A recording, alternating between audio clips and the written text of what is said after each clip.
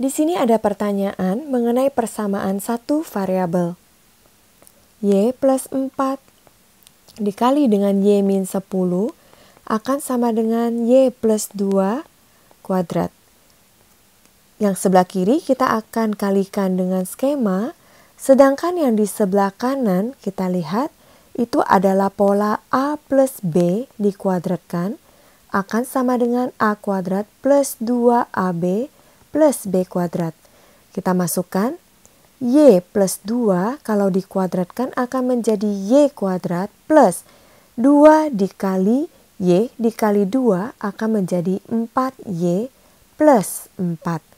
Kita masukkan Y dikali Y adalah Y kuadrat min 10Y plus 4Y min 40 akan sama dengan Y kuadrat plus 4Y plus 4.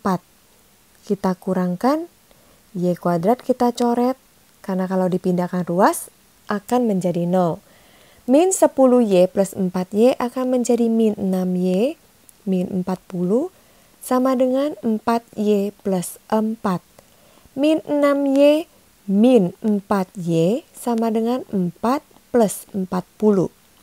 Min 6Y min 4Y menjadi min 10Y sama dengan 44, Y akan sama dengan 44 dibagi min 10, Y akan sama dengan min 4, 4 per 10 atau min 4, 4 kita bagikan dengan 2, 10 kita juga bagi 2, sehingga menjadi min 4, 4 dibagi 2 menjadi 2, 10 dibagi 2 menjadi 5.